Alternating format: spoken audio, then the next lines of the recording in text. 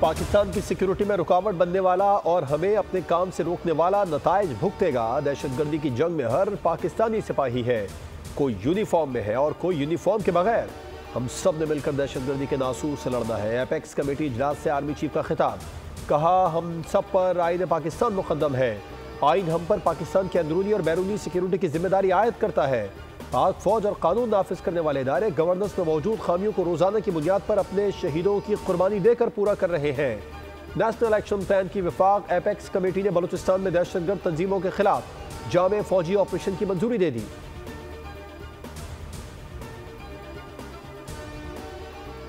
और फैसला करना है कि धरने और लॉन्ग मार्च करें या तरक्की के लिए काम करें। क्या धरना पाकिस्तान के मफाद में है? हमें बैठ कर ठंडे दिल से सोचना है। वज़ीर आज़म शहबाज शरीफ का नेशनल एक्शन प्लान की एपेक्स कमेटी इजलास का खिताब। कहा, मेरे और आर्मी चीफ के पास दहशत गर्दी का सर कुचलने के सिवा कोई ऑप्शन नहीं। पाकिस्तान की मीशत में बेहतरी आ रही है, जिसमें विफाक, आर्मी चीफ और सूबों की काविश शामिल है। नेशनल एक्शन प्लान में खुलकर बात करनी चाहिए ताकि ठोस फैसले हों। सूबों ने आई एम एफ़ प्रोग्राम के लिए विफाक की मदद की।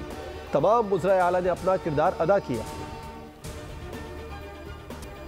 पंजाब में धुंध छटने लगी। स्मोक में कमी के बाद सूरत हाल मामूल पर आने लगी। लाहौर और मुल्तान में भी कल से तालीमी इदारे खुलने का नोटिफिकेशन जारी। तमाम तलबा स्टाफ के लिए मास्क का इस्तेमाल लाजमी करार। दूसरी जानब लाहौर समेत पंजाब में एंटी स्मोक ग्रैंड ऑपरेशन जारी। पंजाब की सीनियर वज़ीर मरियम औरंगज़ेब कहती हैं कि दर्जनों फैक्ट्रियाँ और कारखाने सील कर दिए गए। लाहौर में सत्रह, मुल्तान में चौदह और लिया में आठ भट्टे गिराए गए। लाहौर में आलूगी का सबब बने पर यूनिट्स को चार लाख रुपए जुर्माना किया गया।